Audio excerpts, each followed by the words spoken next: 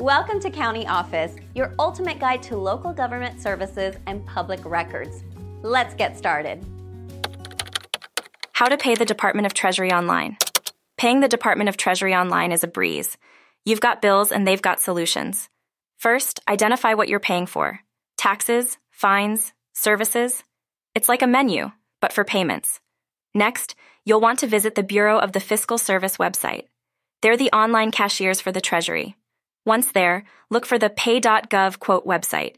It's your one stop shop for all things payment. Think of pay.gov quote as your digital wallet for government dues. You'll need to create an account. Don't worry, it's less paperwork than a library card. With an account set up, search for the form you need. It's like a treasure hunt, but instead of gold, you find forms.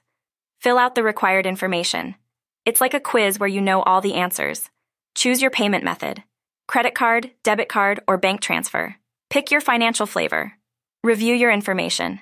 Double checking is the adult version of measure twice, cut once. Confirm your payment. It's like hitting the send button on an important email. And voila, you've paid the Department of Treasury without leaving your couch. Remember, paying online is not only convenient, it's also secure. The Treasury uses top notch security, so your money and info are safe.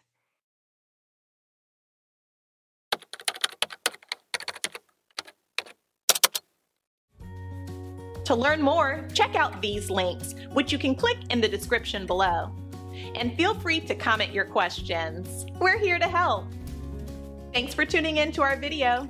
Please like and subscribe and leave a comment below. See you in the next video.